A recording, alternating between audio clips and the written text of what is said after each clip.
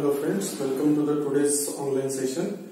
In today's online session, we'll be discussing the another form of energy which is a part of mechanical energy that is a potential energy. So let us start today's discussion with the quantity that is called as potential energy.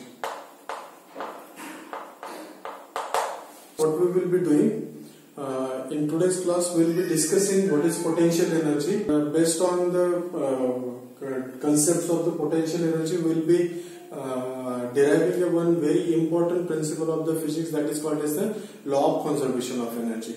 So, before starting with that uh, law of conservation of energy, let us first discuss what is potential energy.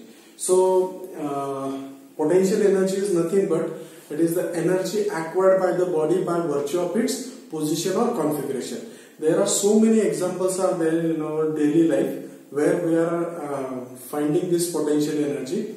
So we'll consider those examples as well.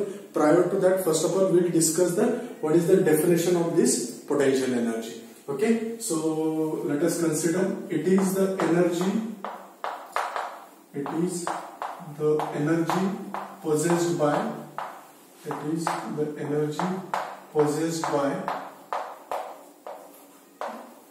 the body by the body by virtue of its by virtue of its by virtue of its position by virtue of its position or configuration by virtue of its position or configuration for example gravitational potential energy. Gravitational potential energy that is one example of uh, potential energy. Gravitational potential energy.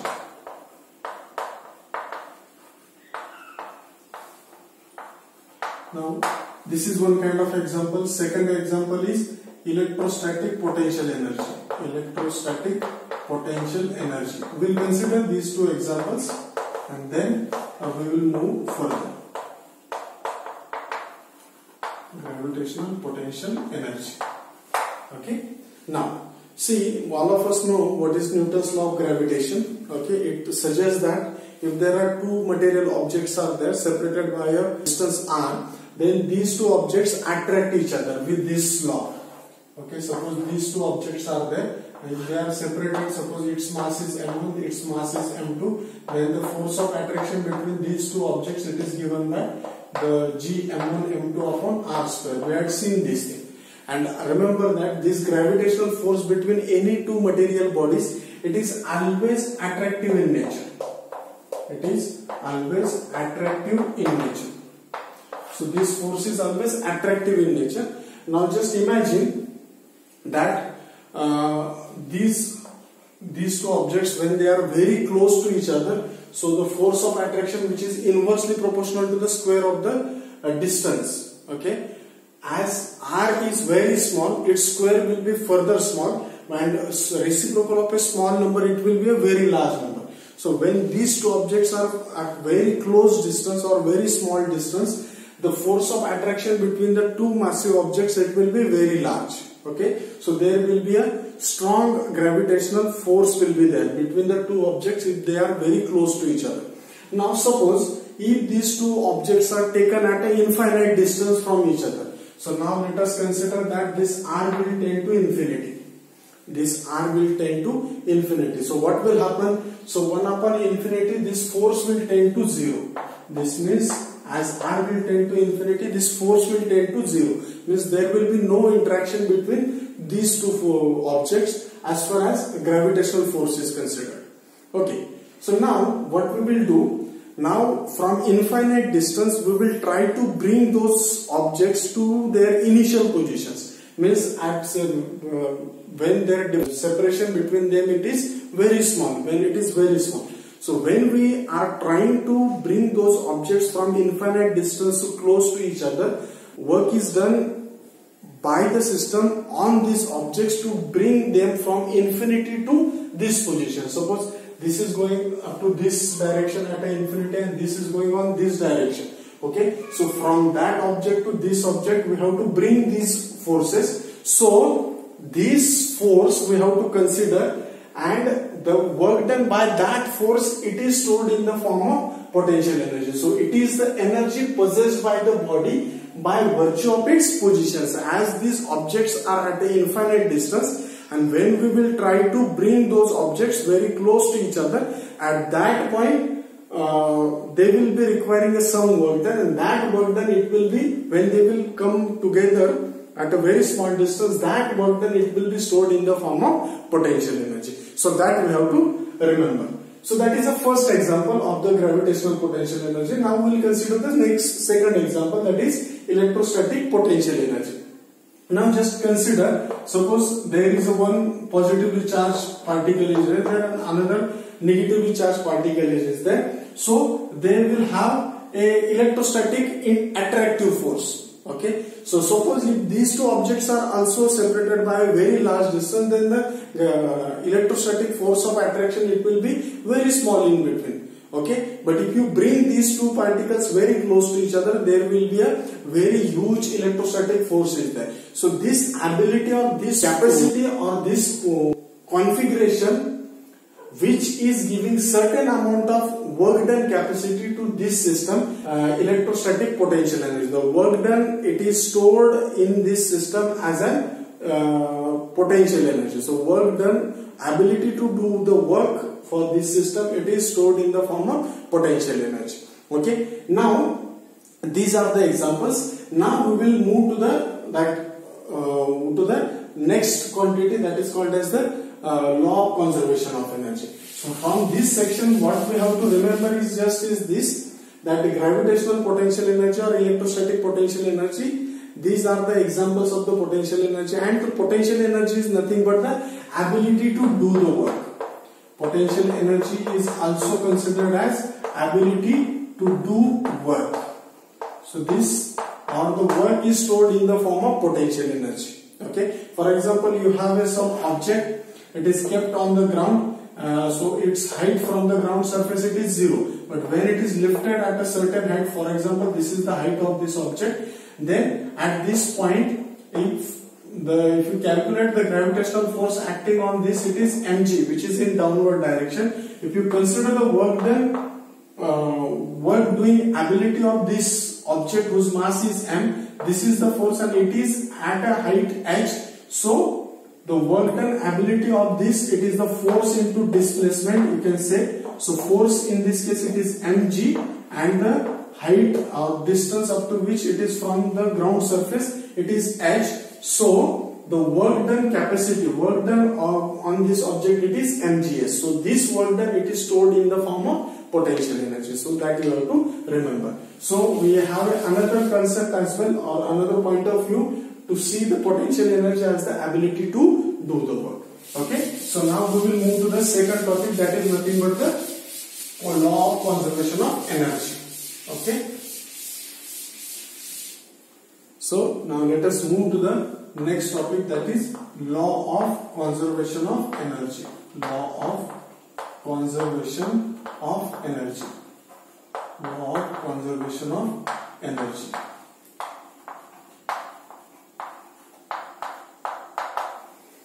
Okay. So now in order to discuss the law of conservation of energy what we will do we will now consider a uh, concept from the conservative force. We have studied in the conservative forces that if the work is done by the uh, conservative forces this work done only depends upon the initial and final position of an object. Okay? It does not depend upon the path by which this work done has been carried out okay? So consider one such path let us say uh, we are going from this point to this point. For example we want to go go from a point to b point. Let us say this b point okay? A point to b point will go by this way and we'll come back from this another way. So this is my path number 1 path 1 and this is path 2 and let us consider that there is an arbitrary point is there in the path 1. Let us say this is the point P. Is in between the point A and B along the path B. Uh, sorry, along the path 1. Okay. So let us start with this. Uh, we can write consider consider the work done work done on a on an object on an object in moving in moving from point A from point A to point B. Okay? So this work done let us denote that work done by work done from A to B. This is equal to integral because we know the total integral over a path it is given by the integral we are moving from point A to point B. We are moving from point A to point B. So this is F bar uh, work done on an object moving by force by conservative force by conservative force F bar. Let us say this is the conservative force F bar. So it is F bar dot dr bar this is F bar dot dr bar is the uh, work done by the force. But we know that when the object is moving from point A to point B along the path 1 there is another point in between the path A and B it is coming. That is point B. By using the property of the integral we can rewrite this integral from A to P f bar dot dr bar f bar dot dr bar plus integral from P to B f bar dot dr bar okay?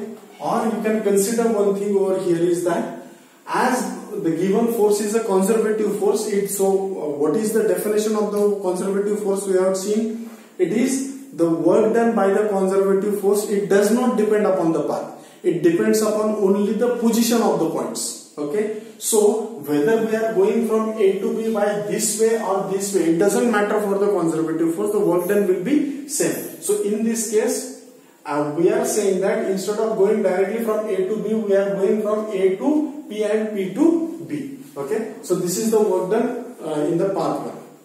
So you can write it here since the work done since the work is done since the work is done by the conservative force by the conservative force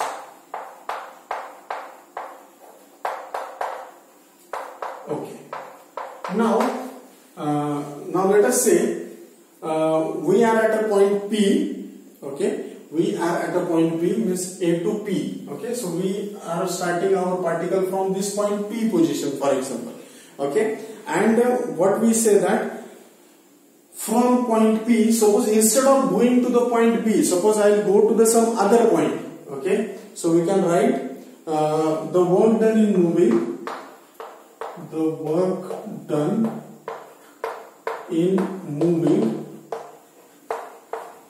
the work done to be moving the particle from from P to B that we are going from a point P to B depends on the position of point B depends depends on the position of point B depends upon the position of point B. Right? If we go, thus if we go to some other point, some other point, some other point, if we go to some other point, we get different work done. We get different work done. So instead of going to the point B, suppose we go to the some other point, we'll get different work done. Okay. So now let us call this different work done as a function of position. Let us call, call let us call this function let us call this function of position. Let us call this function of position as minus u. Okay? The work done the work done in moving in moving an object the work done in moving an object from P to A from P to A. So let us call this as an integral from P to A. Integral from P to A. Okay? So it is f bar dot dr bar. It is integral f bar dot dr bar. And we call this as a function of position. So let us call this as a minus of u of which point I am going from P point I am going to the A point. So let us call this as a function of position as u of A. Okay? U of A. Okay?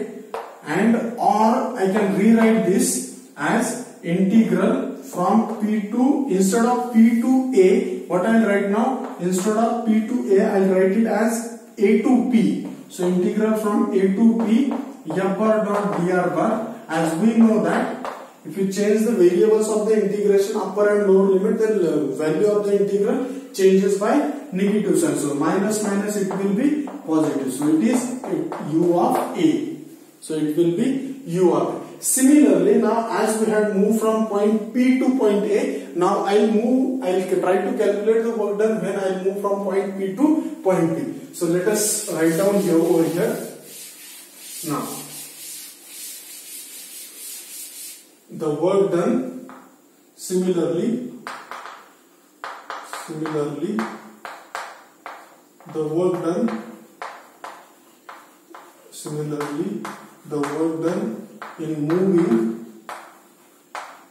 object moving object from from B to P from B to P. Now we'll be calculating the work done in moving an object from P to B. So so this will in this point we'll be moving from point P to point B. So it is F bar dot dr bar. This is equal to I can rewrite this as an as from P to B I am going so function of position it will be U of B.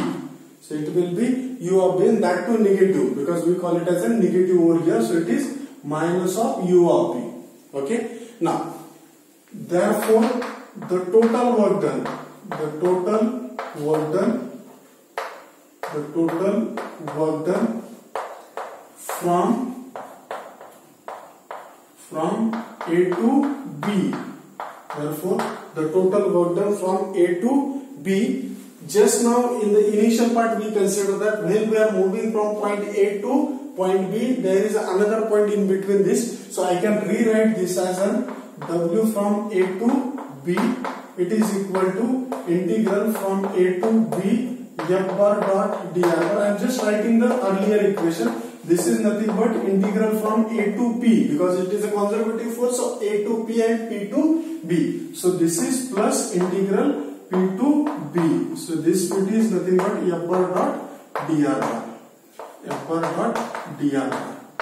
Okay. Now I have already considered this from this equation. What is this integral from A to F bar dot dr bar? Integral from A to F bar dot dr bar. It is nothing but U of A.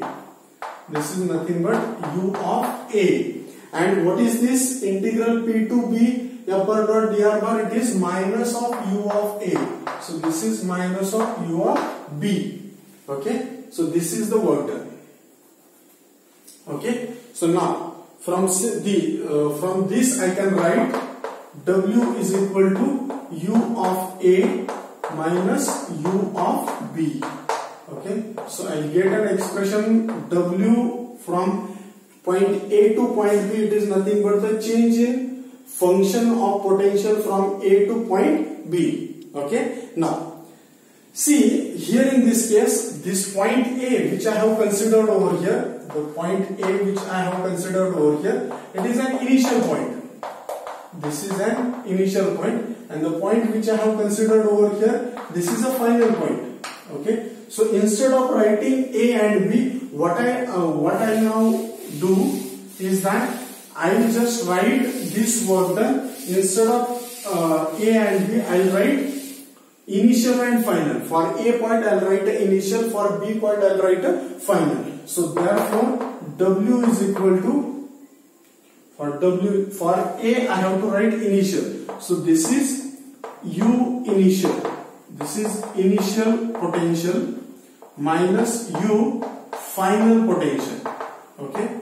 This is initial potential and this is final potential. Now I know that if I want to find out a change in any function, I have to consider the final minus initial. So if I do that, final potential minus initial potential, okay, or potential energy you can say, final potential energy minus initial potential energy. This is nothing but minus W. Okay, this is nothing but minus W. Okay, now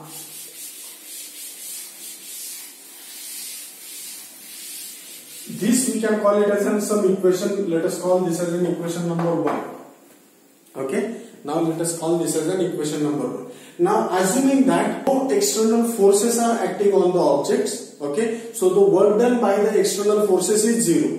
Okay? Assuming no external forces assuming that no external forces no external forces no external forces are acting on the system. Acting on the system. As or we can consider that the work done by those forces it is zero okay? If it is there then according to work energy theorem according to work energy theorem according to work energy theorem according to work energy theorem what work energy theorem tells us that work done by the system work done on the system it is nothing but the change in kinetic energy that is final kinetic energy minus initial kinetic energy final kinetic energy minus initial kinetic energy that is nothing but the work done now as this is the final kinetic energy minus initial kinetic energy this is the statement we are getting from the work energy theorem. Now let us call this statement as an equation number 2 now from equation 1 and 2 from equation 1 and 2 now see I can rewrite this W is equal to what is W? W is K final minus K initial K final minus K initial it is equal to K final minus K initial and this W if you transfer on this because this is uh, W it is in this case it is U initial minus U final. So we can rewrite over here U initial minus U final. Okay? U initial minus U final. Now just consider these two part uh, these two terms in this equation now what I will uh, do I will tra transfer this initial kinetic energy from this side to this side. So I will write it over here. Okay? Now uh, see here. We will be writing it over here. Okay? If I transfer this minus kinetic energy initial kinetic energy on that side on this side I will get K final final kinetic energy which is already present on this side. I will transfer this u final which is minus on this side. If I transfer on this side this minus becomes plus on this side. So I can rewrite this as u final u final which is equal to on this side it is u initial. So I'll write it u initial u initial plus u initial u initial and this minus k initial it will be positive on that side. So it is k initial. Okay? It is k initial. From this expression what you can understand is it is the final kinetic energy. This is final potential energy. This is initial potential energy. This is kinetic energy. So we can rewrite this as k initial k initial plus u initial or you can rewrite like this. K plus u in initial. K plus u in initial which is equal to k plus u in final. K plus u in final. What do you mean by this? That the sum of kinetic energy and potential energy in initial is equal to the kinetic energy is equal uh, plus potential energy. It means that when the internal conservative forces does work the mechanical energy kinetic energy plus potential energy it is called as the mechanical energy. Kinetic energy plus potential energy it is called as the mechanical energy. When the conservative internal conservative forces does the work the mechanical energy of the systems remains conserved. This is equal to constant. That is initial kinetic energy plus the final kinetic energy. Initial kinetic energy plus potential energy is equal to final kinetic plus potential energy. So mechanical energy of the system remains constant. There are certain examples are there. We can uh, write the statement of this in our word. Uh, let us say let us write down the statement of this word in the uh, law of conservation of energy. This statement which we have written over here that is the uh, nothing but the law of conservation of energy. Okay? So note down the statement. When the statement when only when only uh, conservative when only conservative internal forces internal forces do work do work mechanical energy the total mechanical energy total mechanical energy total mechanical energy of the system mechanical energy of the system of the system of the system remains constant remains constant remains constant remains constant or conserved you can say this is called as this is called law of conservation of energy law of conservation of energy law of conservation of energy this is called as law of conservation of energy